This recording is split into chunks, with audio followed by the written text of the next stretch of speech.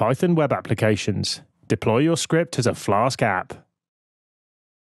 You wrote a Python script that you're proud of, and now you want to show it off to the world. But how? Most people won't know what to do with your .py file. Converting your script into a Python web application is a great solution to make your code usable for a broad audience. In this video course, you'll learn how to go from a local Python script to a fully deployed Flask web application that you can share with the world. By the end of this video course, you'll know what web applications are and how you can host them online, how to convert a Python script into a Flask web application, how to improve user experience by adding HTML to your Python code, and how to deploy your Python web application to Google App Engine. So now that you know what you're going to cover in this course, let's get started. Brush up on the basics. In this section, you'll get a theoretical footing in the different topics that you'll work with during the practical part of this video course. What types of Python code distribution exist? What a web application is? Why building a web application can be a good choice? How content gets delivered over the internet? What web hosting means? And which hosting providers exist and which one to use. Brushing up on these topics can help you feel more confident when writing Python code for the web. However, if you're already familiar with them, then feel free to skip ahead, install the Google Cloud SDK, and start building your Python web app. Bringing your code to your users is called distribution. Traditionally, there are three different approaches you can use to distribute your code so that others can work with your programs Python library, a standalone program, and a Python web application. You'll take a closer look at each of these approaches next. If you've worked with Python's extensive package ecosystem, then you've likely installed Python packages using pip. As a programmer, you might want to publish your Python package on PyPI to allow other users to access and use your code by installing it using pip themselves. After you successfully publish your code to PyPI, this command will install your package, including its dependencies, on any of your users' computers, providing they have an internet connection. If you don't want to publish your code as a PyPI package, then you can still use Python's built-in sdist command to create a source distribution or a Python wheel to create a built distribution to share with your users. Distributing your code like this keeps it close to the original script you wrote and adds only what's necessary for others to run it. However, using this approach also means that your users will need to run your code with Python. Many people who will want to use your scripts functionality won't have Python installed or won't be familiar with the processes required to work directly with your code. A more user friendly way to present your code to potential users is to build a standalone program. Computer programs come in different shapes and forms, and there are multiple options for transforming your Python scripts into standalone programs. Next, you'll see two possibilities packaging your code and building a graphical user interface. Programs such as PyInstaller, Py2App, Py2exe, or Briefcase can help with packaging your code.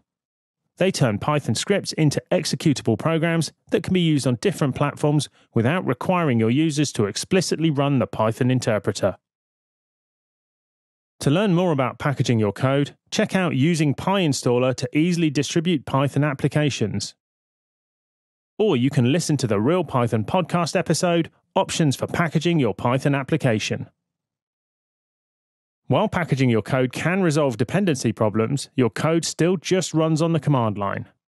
Most people are used to working with programs that provide a graphical user interface, commonly abbreviated to GUI. You can make your Python code accessible to more people by building a GUI for it.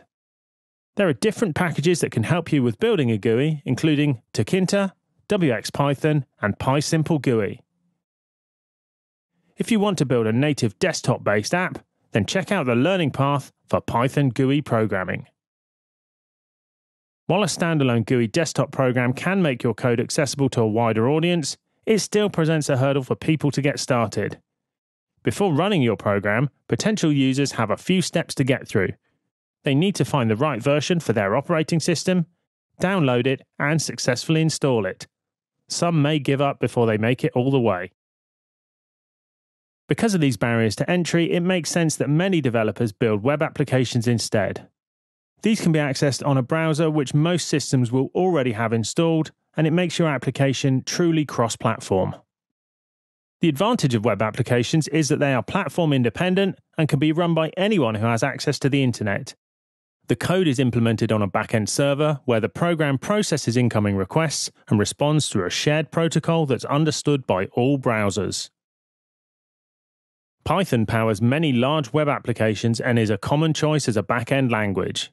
Many Python driven web applications are planned from the start as web applications and are built using Python web frameworks such as Flask, which you'll be using in this course. However, instead of this web first approach, you're going to take a different angle. After all, you weren't planning to build a web application, you just created a useful Python script and now you want to share it with the world.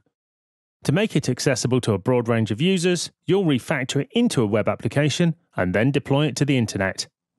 It's time to go over what a web application is and how it's different from other content on the web.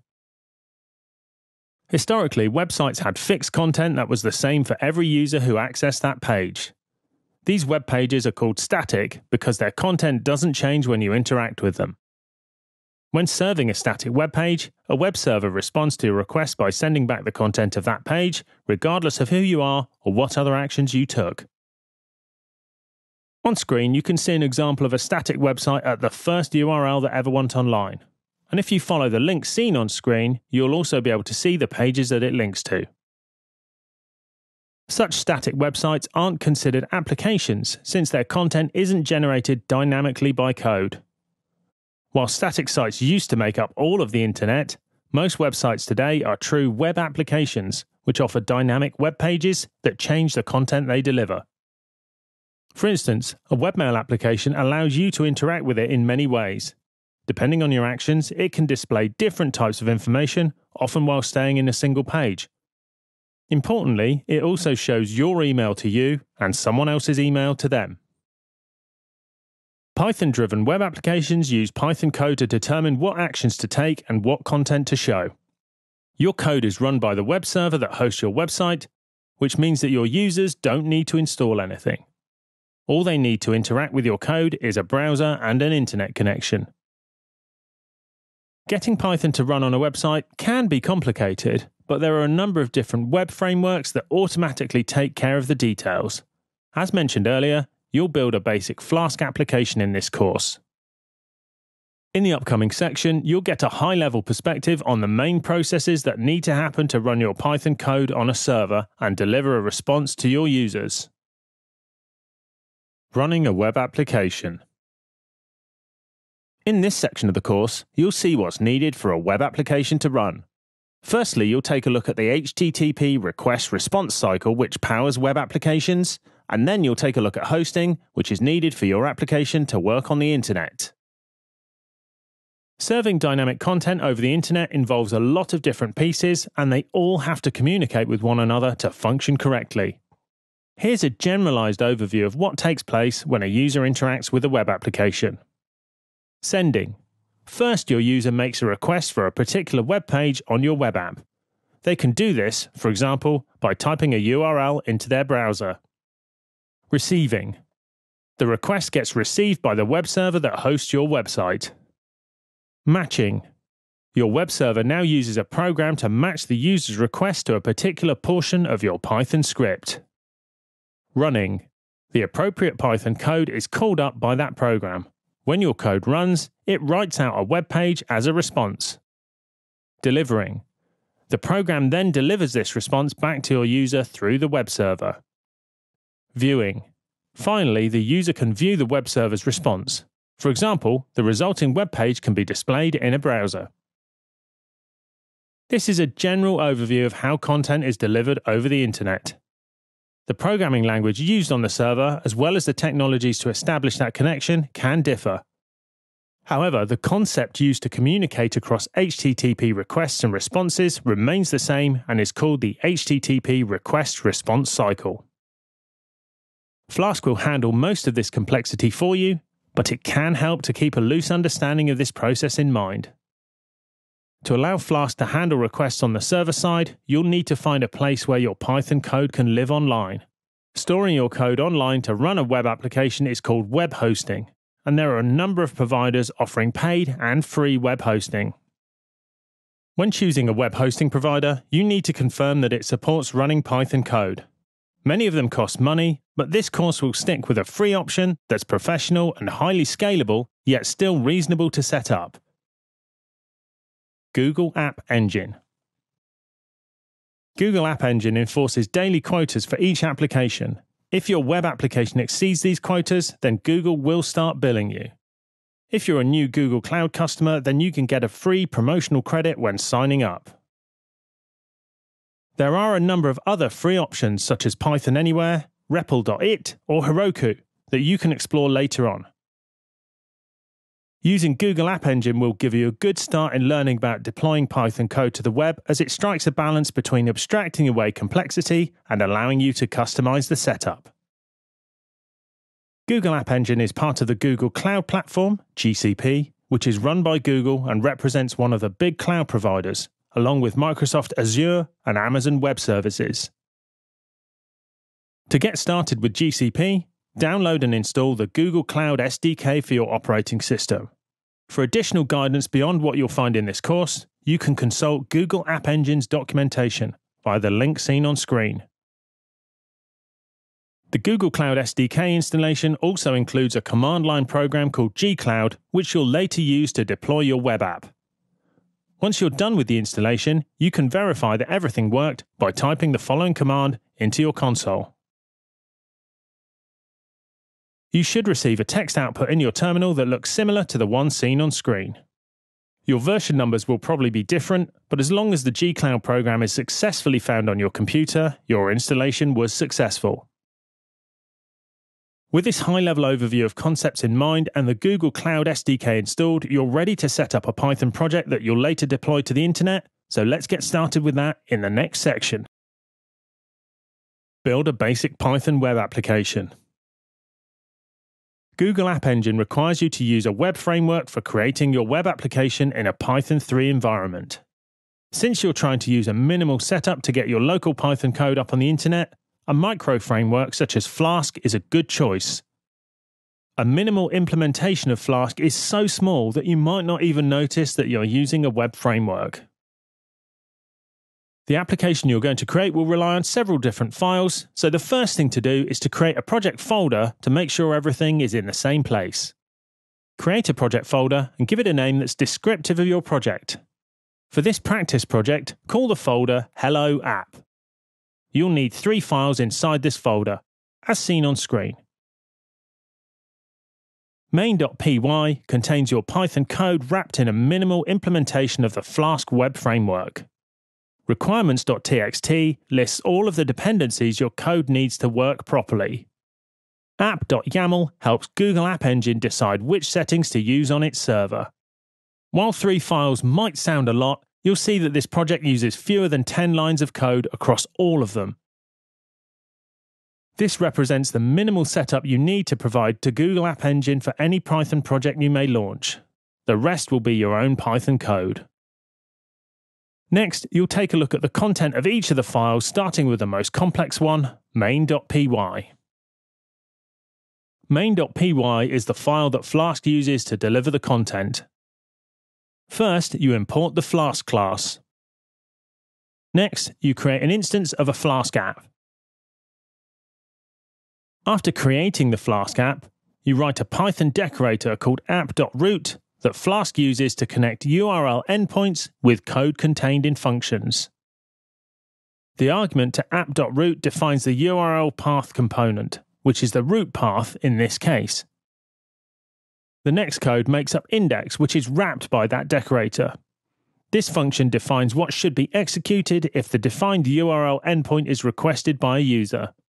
Its return value determines what a user will see when they load the page. Note that the naming of index is only a convention. It relates to how the main page of a website is often called index.html.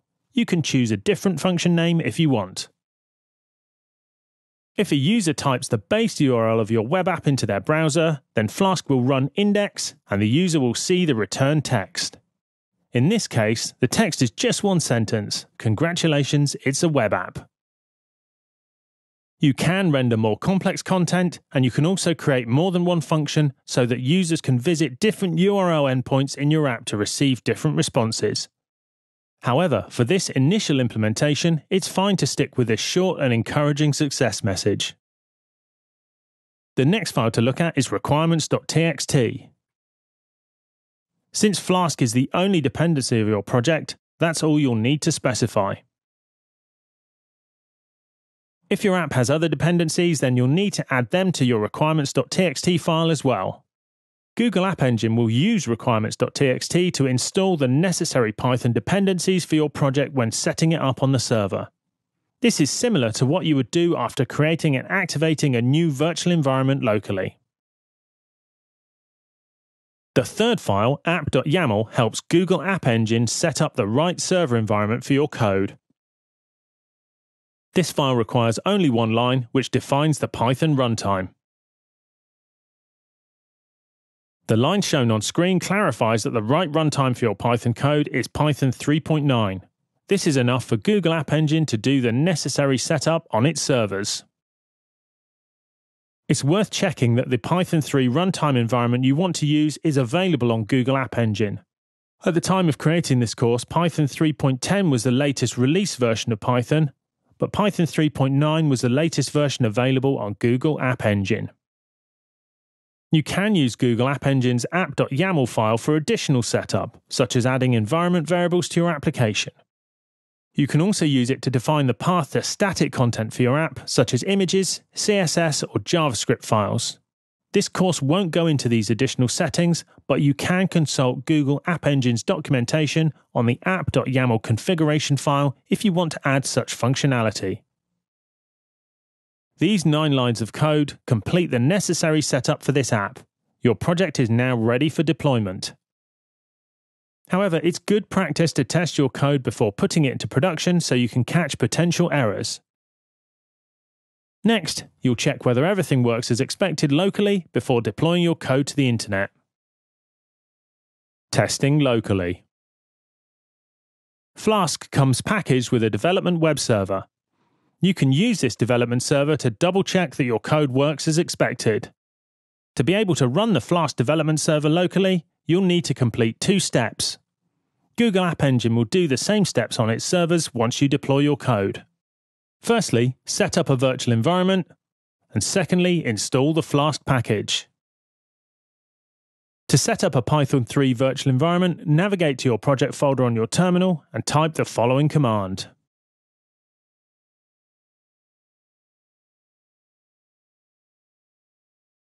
This will create a new virtual environment named venv using the version of Python 3 that you have installed on your system.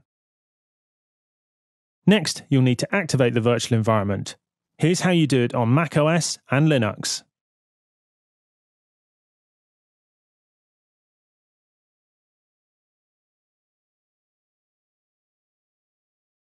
And here's how it's done in Windows, which is subtly different.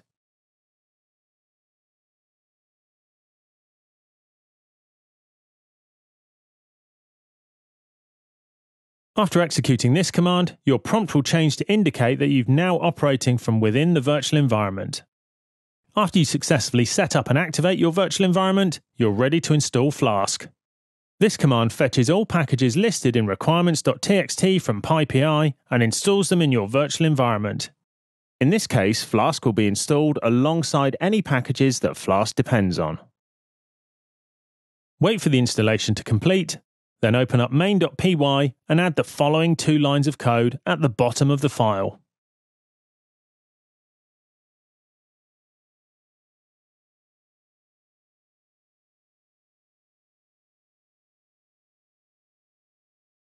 These two lines tell Python to start Flask's development server when the script is executed from the command line. It'll be used only when you run the script locally. When you deploy the code to Google App Engine, a professional web server process, such as Green Unicorn, will serve the app instead. You won't need to change anything to make this happen. You can now start Flask Development Server and interact with your Python app in your browser. To do so, you need to run the Python script that starts the Flask app by typing the following command.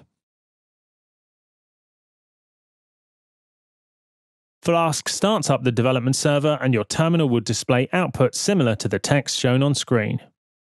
This output tells you three important pieces of information. Firstly, a warning that this is Flask's development server, which means you don't want to use it to serve your code in production. Fortunately, Google App Engine will handle that for you instead. Secondly, the URL where you can find your app. It's the URL for localhost, which means the app is running on your own computer. Navigate to that URL in your browser to see the code live. Thirdly, press Ctrl C to quit. This line tells you that you can exit the development server by pressing Ctrl and C on your keyboard. Follow the instructions and open a browser tab at 127.0.0.1 colon 8080 as seen on screen. You should see a page displaying the text that your function returns. Congratulations, it's a web app. Note, the URL 127.0.0.1 is also called the local host, which means that it points to your own computer. The number 8080 that follows after the colon is called the port number. The port can be thought of as a particular channel, similar to broadcasting a television or radio channel. You've defined these values in app.run in your main.py file. Running the application on port 8080 means that you can tune into this port number and receive communications from the development server. Port 8080 is commonly used for local testing, but you could also use a different number. You can use Flask Development Server to inspect any changes that you make to the code of your Python app. The server listens to changes that you make in the code and will automatically reload to display them. If your app doesn't render as you expect it to on the development server, then it won't work in production either. So make sure that it looks good before you deploy it. Also, keep in mind that even if it does work well locally, it might not work quite the same once deployed. This is because there are other factors involved when you deploy your code to Google App Engine. However, for a basic app, such as the one you're building in this course, you can be confident that it'll work in production if it works well locally. Once you've checked your setup and the code's functionality on your local development server, you're ready to deploy it to Google App Engine, and that's what's covered next.